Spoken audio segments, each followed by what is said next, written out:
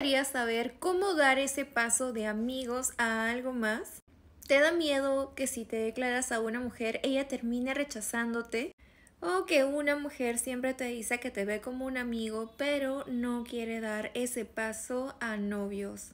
Te voy a revelar el secreto para que puedas dar ese gran paso sin morir en el intento. Punto número uno es realizar alguna diferencia entre lo que es un amigo y lo que es algo más.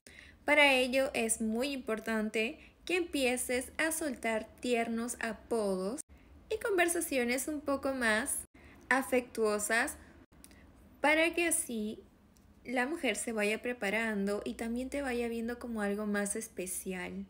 Número 2. Tienes que evitar salir en grupo y empezar a salir más a solas con ella. Para ello puedes inventar alguna excusa que el grupo no pudo y así